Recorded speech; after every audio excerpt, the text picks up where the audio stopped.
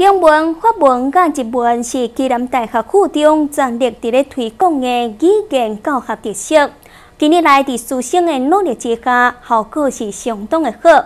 今年学生参加法文的鉴定，通过率是将近百分之百。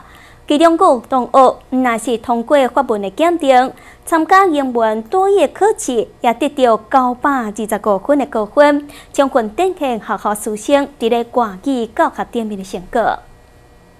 Bonjour. Bonjour. Comment ça va? Euh, ça va bien. Ça va.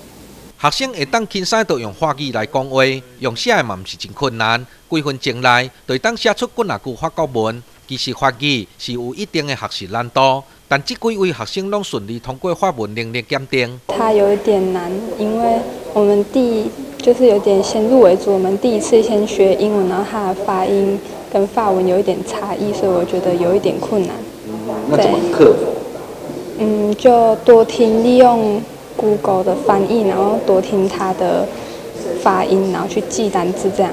有一定的难度，就是要也是要花很多时间投入去学习，跟多听多读，这样。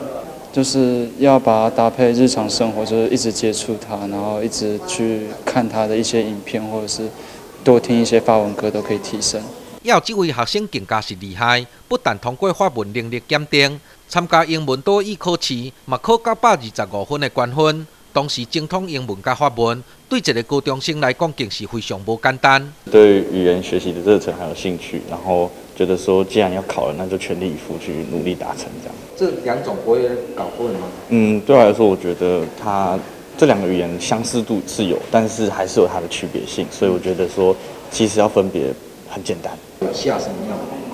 嗯，就是要上网去多找资源啊。暨南大学附中对推广学生外语能力是相当用心，英文、法文、甲日文是学校教学的三大特色，尤其结合暨南大学师资甲资源，每年伫各项考试甲技能鉴定时，拢有非常好的成绩。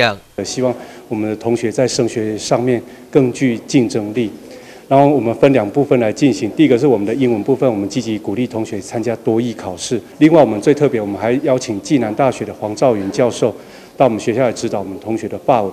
在我们暨大附中这三类语言，如果通过同学都可以取得证照，在未来大学的推甄上面，哈，会比其他同学更具特色，也更具竞争力。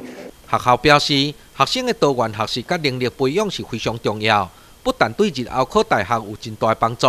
以后进入社会就业，路嘛比别人较快，更较有竞争能力。记者王兆成采访报道。